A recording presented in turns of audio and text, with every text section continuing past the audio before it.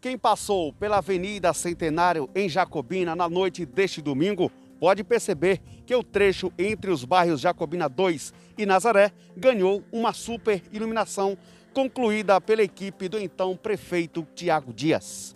A obra realizada com recursos próprios com mais de 749 mil trará mais segurança para os munícipes, sendo esta uma reivindicação antiga de quem passa por aqui constantemente.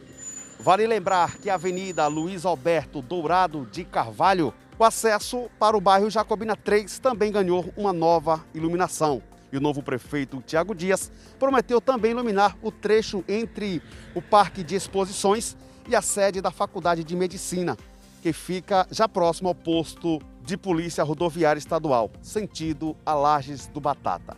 Com as imagens de Luiz de Jesus, Otto Moreno, para a Rota da Notícia.